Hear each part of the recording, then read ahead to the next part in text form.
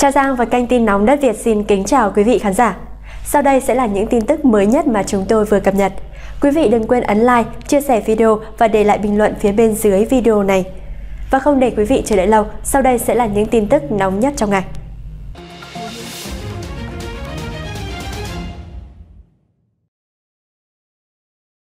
Ông chủ Nhật Cường vận hành đường dây buôn lậu 3.000 tỷ đồng như thế nào?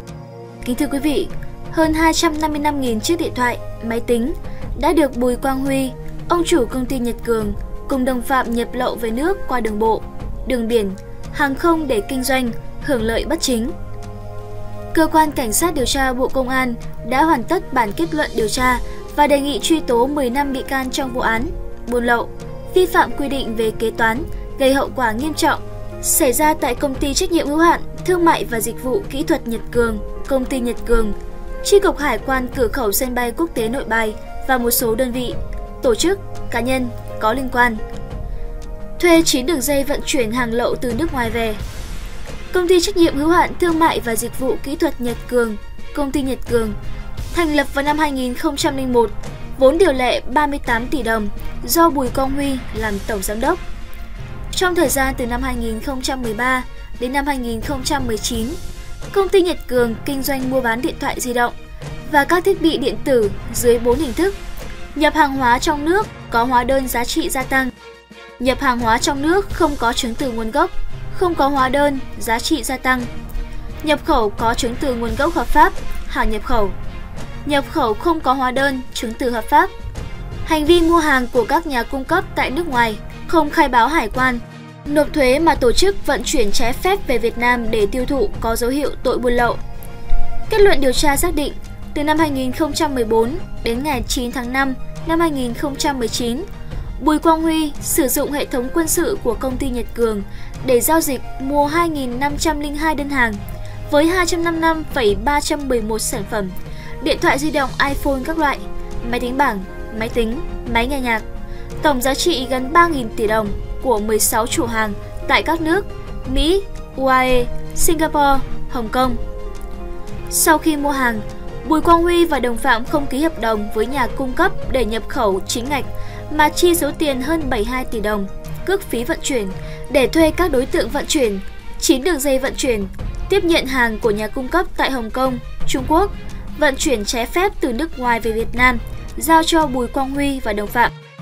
Thông qua hệ thống các cửa hàng của công ty Nhật Cường đã tiêu thụ hơn 254.000 sản phẩm, thu được số tiền là hơn 3.200 tỷ đồng, hưởng lợi hơn 221 tỷ đồng, đã trừ tiền mua hàng, tiền cước phí vận chuyển. Còn lại 947 sản phẩm chưa tiêu thụ được, trị giá mua là hơn 7 tỷ đồng.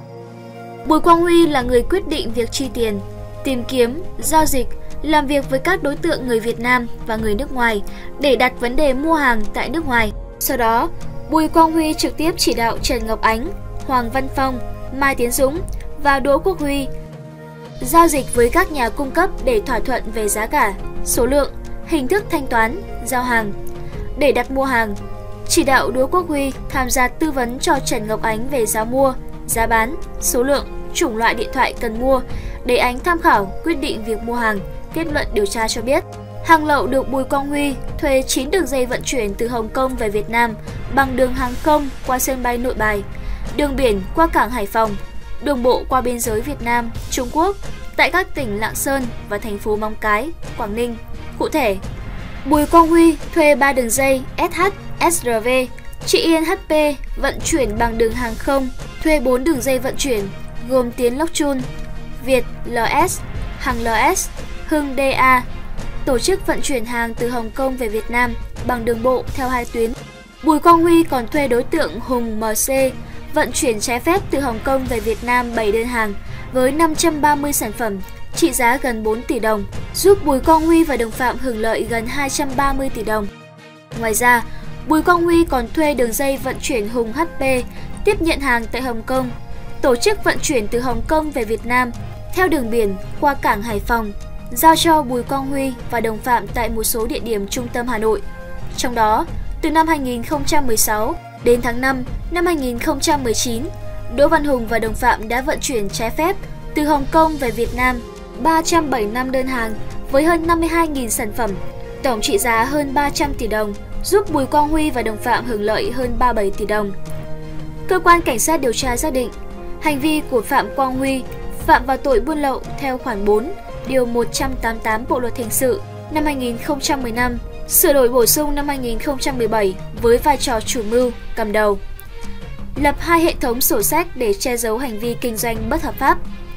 Kết luận điều tra còn cho biết, Bùi Quang Huy còn lập hai hệ thống sổ sách kế toán để ghi chép số liệu hoạt động kinh doanh của công ty Nhật Cường.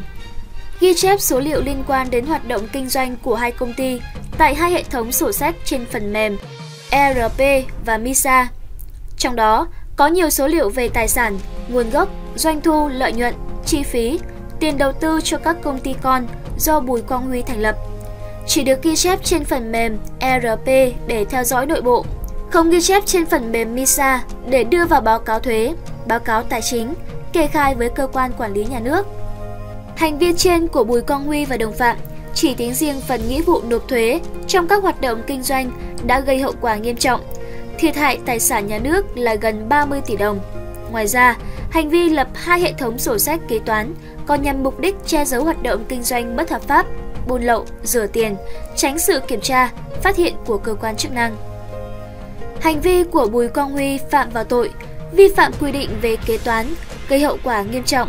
Theo Điều 221 Bộ Luật Hình sự năm 2015, sửa đổi bổ sung năm 2017.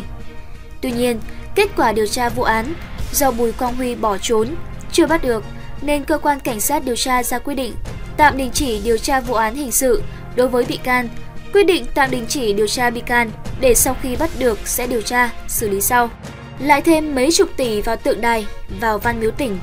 Kính thưa quý vị, sau văn miếu 72 tỷ, Hà Tĩnh làm thêm đường vào văn miếu 50 tỷ. Sau tượng đài N Trang Lương 67 tỷ, Đắk Nông tiếp tục làm đường, làm sân 90 tỷ đồng.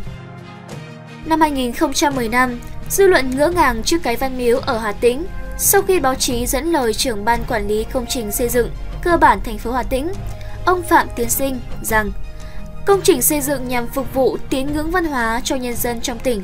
Thế nhưng, thờ ai thì chưa biết. Rằng thờ khổng tử thì không phải. Thờ ai, thờ cái gì, thờ như thế nào. Đề tài này đang chờ rất nhiều cuộc hội thảo. Đề tài này đang phải chờ dài dài. Dư luận bàn ra tán vào hay ngỡ ngàng là phải thôi. Xây một cái văn miếu mà chả biết thờ ai, mà ngót 80 tỷ bạc chứ có phải vỏ hiến đâu. Tháng 8 năm đó, Giám đốc Sở Văn hóa Thể thao Du lịch Hà Tĩnh lên tiếng Không có chuyện xây văn miếu nhưng không biết thờ ai. Cụ thể hơn, văn miếu để thờ khổng tử và các bậc hiền tài danh nhân văn hóa như Chu Văn An, Nguyễn Bình Khiêm, Nguyễn Du. Bẵng đi mấy năm, đến giờ Hà Tĩnh tiếp tục đổ 50 tỷ để làm đường vào văn miếu. Đã có quyết định rồi, tiền là từ ngân sách, kế hoạch là ngoài Tết bắt đầu. Và nguyên do cái văn miếu ngót 80 tỷ kia làm xong mấy năm nay nhưng không có đường vào. Ở Đắk Nông, sau khi làm xong tượng đài N Trang Lương trị giá 67 tỷ, địa phương cũng đã quyết định làm thêm sân và đường lên tượng đài với tổng mức kinh phí phát sinh 90 tỷ. Công nghiệp tỉnh cho biết lý do. Giờ dựng tượng đài lên rồi mà không có đường đi lên thì người dân sẽ phản ứng đến bắt buộc phải làm đường. Tổng chiều dài của con đường này dự kiến khoảng 2 km với tổng mức đầu tư là khoảng 77 tỷ đồng. Xây hẳn một cái văn miếu rồi không làm đường, rồi vì không có đường, dân phải đi cửa hậu qua nhà đại bái, nên phải ném tiền mấy chục tỷ. Xây lừng lững một cái tượng trên núi, rồi đường lên, không có, nên phải xây vì người dân phản ứng. Đúng là rất logic, rất sáng tạo, là rất vì dân. Chỉ có điều, tiền lớn quá, lãng phí quá, nhất là trong bối cảnh đặc thù dịch đang gây khó khăn cho cả ngân sách nhà nước và tiền túi nhân dân. Năm 2021, dự báo tình hình túi tiền, tình hình kinh tế xã hội là rất khó khăn, cần phải đếm từng xu, tính từng đồng. Chính phủ, Thủ tướng Chính phủ liên tục có các yêu cầu cắt giảm chi phí thường xuyên. Bộ Tài chính liên tục phải sử dụng kéo để tiết kiệm từng đồng công tác, hội thảo. Chi tiêu vào những gì không thực sự cần kiếp bức xúc hay cho mục đích phát triển kinh tế lúc này vì thế, không phải chỉ là phản cảm với những khó khăn của dân mà của nền kinh tế nữa. Khách đi tàu giảm sốc, đường sắt nguy cơ mất trắng 3.200 tỷ đồng. Kính thưa quý vị, nếu dịch tiếp tục kéo dài trong năm 2021, năm 2022 sẽ ảnh hưởng nặng nề đến vận tải đường sắt. Nguy cơ Tổng Công ty Đường sắt Việt Nam DSVN sẽ mất toàn bộ vốn chủ sở hữu khoảng 3.200 tỷ đồng. Năm 2020, chịu tác động tiêu cực do đại dịch và bão lũ khu vực miền Trung, khiến sản lượng vận tải hành khách sụt giảm nghiêm trọng.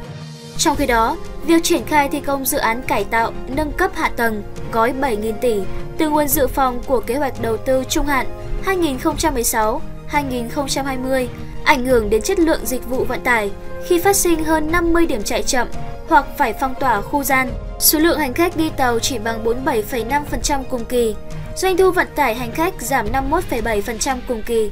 Các công ty cổ phần vận tải đường sắt đã phải giảm, bãi bỏ nhiều mắc tàu khách thống nhất và địa phương. Năm 2020, hoạt động khai thác kết cấu hạ tầng đường sắt không liên quan trực tiếp đến chạy tàu gần như đóng băng, đã ảnh hưởng lớn đến kết quả sản xuất kinh doanh của công ty mẹ. Lý do vì đề án quản lý, khai thác kết cấu hạ tầng đường sắt quốc gia vẫn đang được các cấp có thẩm quyền xem xét. Kết quả sản xuất kinh doanh hợp công toàn đường sắt Việt Nam năm 2020 đạt thấp, sản lượng chỉ đạt 6.828,6 tỷ đồng, bằng 79% so với cùng kỳ, doanh thu 6.565,1 tỷ đồng, bằng 78,3% so với cùng kỳ. Thu nhập bình quân 8,27 triệu đồng trên người trên tháng, thấp hơn nhiều so với cùng kỳ. Cụ thể, công ty mẹ tổng doanh thu đạt 1.713 tỷ đồng, đạt 81,6% so với kế hoạch và bằng 66,6% so với cùng kỳ. Dự kiến lỗ hơn 1.324 tỷ đồng. Các công ty vận tải, doanh thu trực tiếp từ vận tải bằng 68,2% so với cùng kỳ và bằng 97,6% kế hoạch do các công ty xây dựng. Ông Vũ Bình Anh, Chủ tịch Hội đồng thành viên Đường sắt Việt Nam cho biết, dự báo nếu dịch tiếp tục kéo dài trong năm 2021-2022, ảnh hưởng nặng nề đến vận tải đường sắt, gây lỗ nặng, trong khi không có được cơ chế tháo gỡ, hỗ trợ từ chính phủ, của bộ, ngành, thì hết năm 2022, cả hai công ty vận tải mất hoàn toàn vốn chủ sở hữu. Điều đó có nghĩa tổng công ty sẽ mất toàn bộ vốn chủ sở hữu, khoảng 3.200 tỷ đồng trong 3 năm. Theo ông Minh, ngành đường sắt buộc phải tái cơ cấu từ tài chính, đầu tư, khoa học công nghệ, sản phẩm dịch vụ, tái cơ cấu nhân sự và mô hình tổ chức. Nếu không đánh giá đúng thực trạng sẽ không lựa chọn giải pháp tốt. Giai đoạn 2022 cần tái cơ cấu mạnh mẽ, có những thứ động chạm quyền lợi cá nhân, tổ chức nhưng buộc phải làm. Ông Minh nói và nhấn mạnh. Chúng ta không ở trong giai đoạn hành khách xếp hàng dài mua vé, nên cầm giảm định biên, buộc tái cơ cấu ở tất cả các vị trí, sắp xếp các đơn vị phụ thuộc để quản lý các nguồn lực một cách tốt nhất.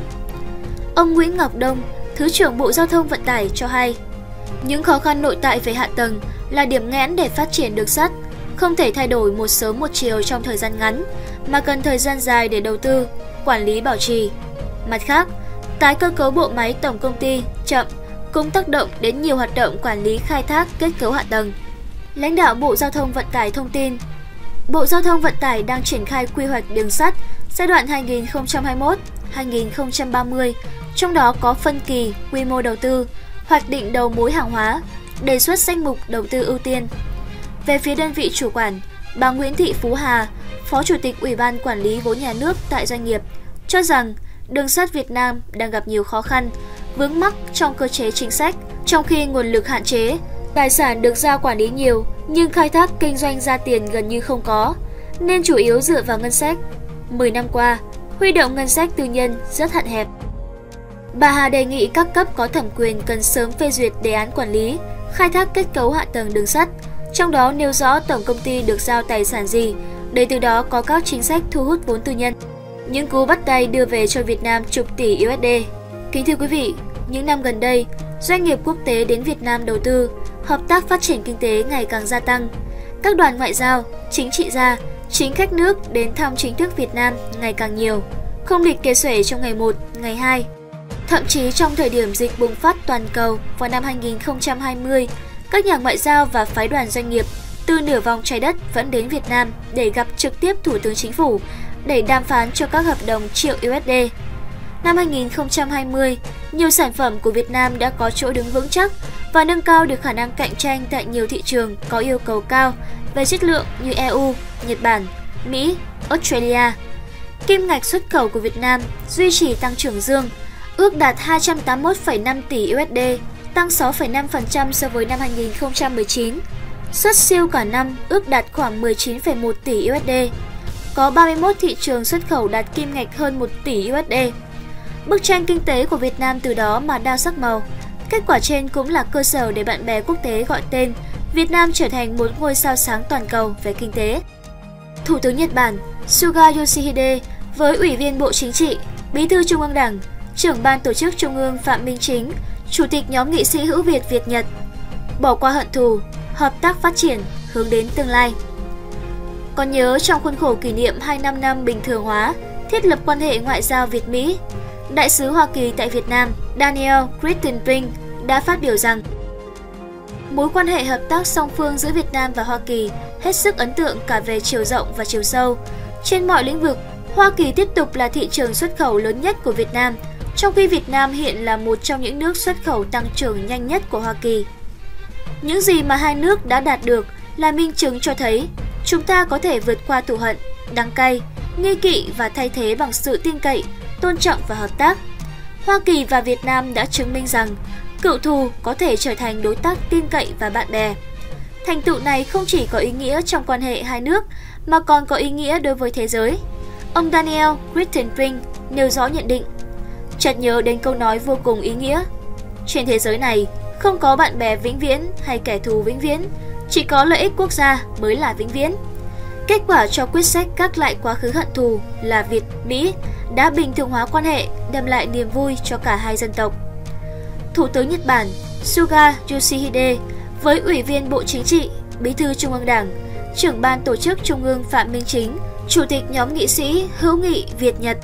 Gần đây nhất, vào tháng 10 năm 2020, khi chọn Việt Nam là quốc gia đầu tiên công du, kể từ khi ông nhận chức, Thủ tướng Nhật Bản Suga Yoshihide đã có cuộc hội đàm với nhóm nghị sĩ hữu Việt, Việt-Nhật, trao đổi trực tiếp với Ủy viên Bộ Chính trị, Bí thư Trung ương Đảng, trưởng ban tổ chức Trung ương, Chủ tịch nhóm nghệ sĩ hữu Việt, Việt-Nhật, Phạm Minh Chính về mong muốn Nhật Bản tăng cường hơn nữa quan hệ đối tác chiến lược sâu rộng vì hòa bình và thịnh vượng ở châu Á với Việt Nam.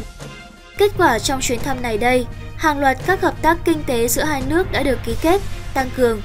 Đó cũng là cơ sở Thủ tướng Suga đánh giá cao hoạt động hiệu quả của nhóm nghị sĩ hữu nghị Việt-Nhật và Liên minh nghị sĩ hữu nghị Nhật-Việt, góp phần thúc đẩy giao lưu, tăng cường sự tin cậy và hiểu biết lẫn nhau giữa hai bên. Hoạt động đối ngoại đã góp phần quan trọng vào việc duy trì và củng cố môi trường quốc tế thuận lợi cho công cuộc xây dựng và bảo vệ Tổ quốc Việt Nam.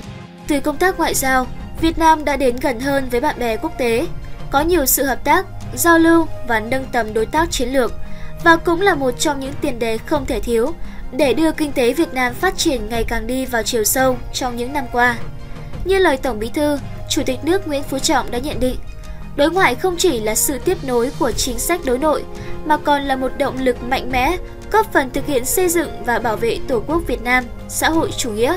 Ông Trump trừng phạt Trung Quốc trong tuần cuối nhiệm kỳ. Kính thưa quý vị, chính quyền Tổng thống Donald Trump thông báo lệnh cấm nhập khẩu đối với toàn bộ sản phẩm bông và cà chua từ khu vực Tân Cương, Trung Quốc.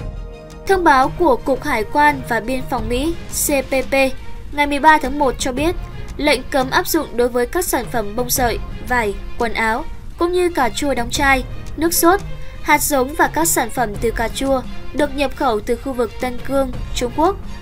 CBP, một cơ quan thuộc Bộ An ninh Nội địa Mỹ, ước tính khoảng 9 tỷ USD sản phẩm từ bông và 10 triệu USD sản phẩm từ cà chua đã được nhập khẩu từ Trung Quốc vào Mỹ trong năm 2020. Lệnh cấm được đưa ra sau khi Mỹ cáo buộc Trung Quốc sử dụng lao động cưỡng bức là những người Hồi giáo Duy Ngô Nhĩ ở Tân Cương để làm ra các sản phẩm trên. Theo quyền Thứ trưởng Bộ An ninh Nội địa Mỹ Kenneth Cuccinelli, lệnh cấm trên cho thấy Mỹ sẽ không chấp nhận lao động bị cưỡng ép dưới bất kỳ hình thức nào và các công ty phải loại bỏ các sản phẩm từ Tân Cương ra khỏi chuỗi cung ứng của họ. Tổng thống Trump hồi tháng 6 năm ngoái đã ký thông qua đạo luật chính sách nhân quyền của người Duy Ngô Nhĩ, kêu gọi trừng phạt các cá nhân có liên quan tới việc bắt giữ và ngược đãi người Duy Ngô Nhĩ và các cộng đồng Hồi giáo tại Tân Cương. Liên Hợp Quốc ước tính hơn 1 triệu người Hồi giáo Duy Ngô Nhĩ bị bắt giữ tại các trại cải tạo ở Trung Quốc. Tuy nhiên, Bắc Kinh phủ nhận cái gọi là trại cải tạo, cũng như cáo buộc ngược đãi khẳng định người Duy Ngô Nhĩ vào các trung tâm giáo dục nghề nghiệp này là hoàn toàn tự nguyện. Đại sứ Trung Quốc tại Mỹ tuyên bố, cáo buộc lao động bị cưỡng bức là lời nói dối chính trị và cảnh báo sẽ có biện pháp hành động để bảo vệ lợi ích của các công ty bị ảnh hưởng. Lệnh cấm trên là một trong những động thái được chính quyền Tổng thống Donald Trump thực hiện trong tuần cuối cùng tại Nhà Trắng nhằm củng cố lập trường cứng rắn của Mỹ với Trung Quốc.